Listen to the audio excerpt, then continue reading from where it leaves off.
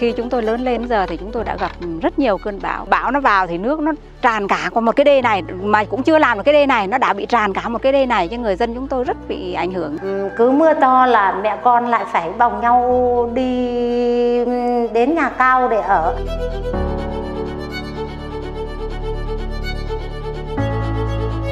Bà con chúng tôi rất phấn khởi bị bởi vì là ờ, nhà đầu tư đã đầu tư về cho người dân vùng biển chúng tôi trồng những cái rừng ngập mặn này Uh, it was uh, very pleasing to see uh, that uh, they feel passionate about that. Uh, they're able to make a livelihood out of it and also protect their community.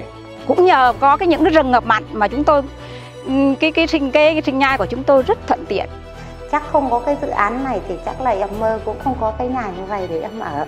Thật sự là, em cứ phải ở dưới cái nhà dưới nó thấp vậy. À, tôi cũng không phải chạy đi đâu nữa.